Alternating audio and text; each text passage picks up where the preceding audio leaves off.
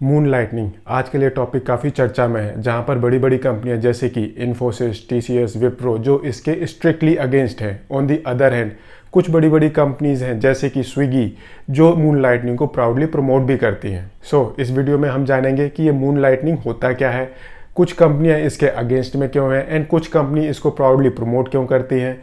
And अगर आप moon lightning करते हैं तो आपको जो एडिशनल इनकम होती है मून लाइटनिंग की वजह से, उस इनकम को टैक्सेशन फ्रंट पर कैसे डील करना है? बट आगे चलने से पहले आप इस वीडियो को लाइक शेयर ज़रूर करें एंड चैनल को सब्सक्राइब करें। सबसे पहले जानते हैं ये मून लाइटनिंग क्या होता है। सपोज़ आप किसी एक कंपनी में जॉब करते हैं आपको एक अपॉर्चुनिटी मिली एंड आपने किसी दूसरी कंपनी में भी जॉब करना शुरू कर दिया, या फिर आपने दूसरी जगह अपनी सर्विसेज़ प्रोवाइड करनी शुरू कर दी in the form of consultancy gig worker etcetera etcetera अब इस एडिशनल एम्प्लॉयमेंट या फिर असाइनमेंट को आपने अपने मेन एम्प्लॉयर के साथ डिस्क्लोज किया, नहीं किया डजेंट मैटर इसको हम बोलते हैं मून लाइटनिंग जहाँ पर आप एक मेन एम्प्लॉयर के साथ साथ दूसरी जगह भी काम करना शुरू कर देते हो, अपनी सर्विसेज़ प्रोवाइड करनी शुरू कर देते हो एंड वहाँ से आपको पैसे मिलने लग जाते हैं। नाउ मून लाइटनिंग का आपके एम्प्लॉयर के ऊपर क्या फ़र्क पड़ता है?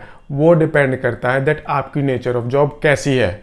अगर आपकी नेचर ऑफ़ जॉब वो हाईली कॉम्प्लिकेटेड है, उसमें हाई क्वालिटी की स्किल्स चाहिए तो वहाँ पर कई बार क्या होता है, जो आपका मेन एम्प्लॉयर होता है, वो आपको ट्रेनिंग प्रोवाइड करता है, वो आपको और भी नॉलेज रिसोर्सेज प्रोवाइड करता है, जिसकी वजह से वो एम्प्लॉयर आपके ऊपर काफ़ी खर्चा भी करता है।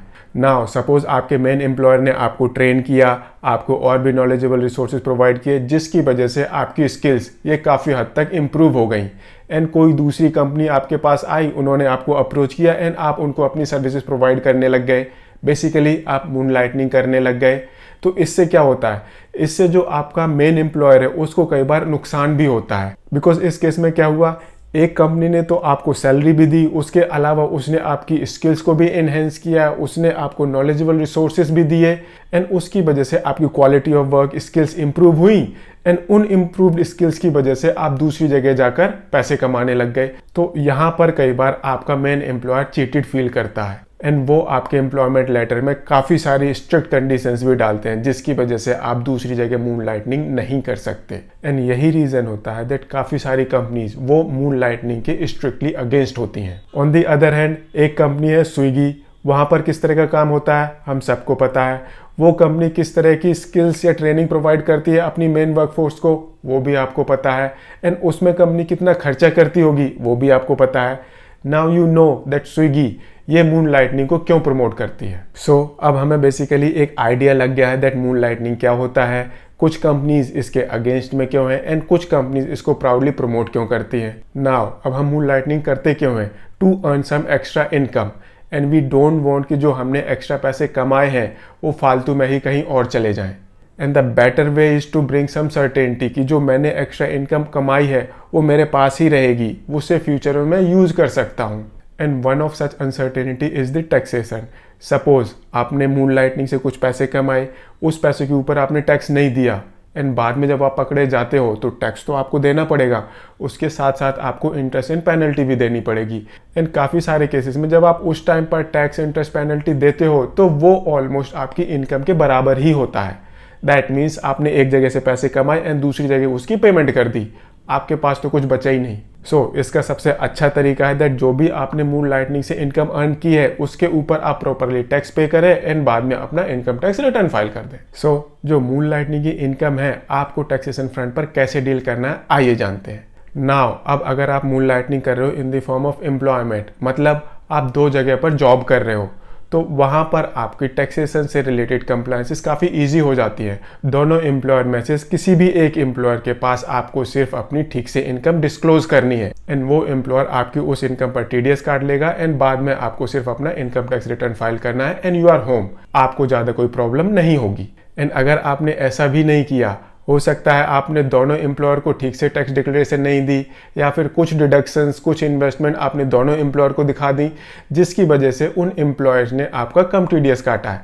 तो जब भी आप अपना इनकम टैक्स रिटर्न फ़ाइल करने बैठोगे, उस टाइम आप अपनी टोटल इनकम पर ठीक से टैक्स जमा करना एंड यू आर होम आपको ज़्यादा कुछ करने की ज़रूरत नहीं है।